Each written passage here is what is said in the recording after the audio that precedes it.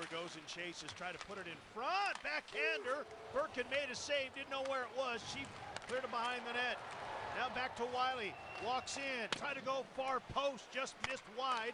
Birkin might have got a piece of it, and then it's tipped in front, and we are tied. The shot from Bala from the point.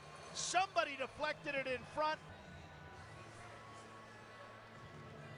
I don't, I don't think you can see who, just the way the angle of the camera whipping out, whipping back. See that by that time, Birkin saw it at the last minute, but it was too late. He couldn't get his stick or his pads closed down. The Silver Tips.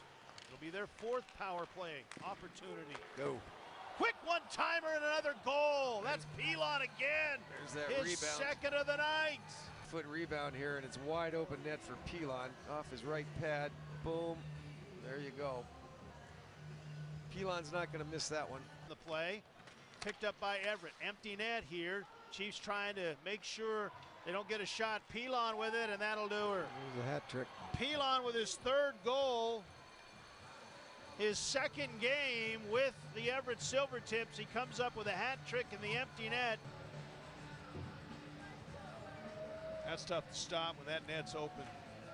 Yeah, the Chiefs did a good job. They tried to step up right at the right at the blue line and at least take away the opportunity for him to create a two-on-one or an easier shot, and it just didn't work out for him. But fans are heading out a little dejected, but uh, there's some promise here. There really is. Uh,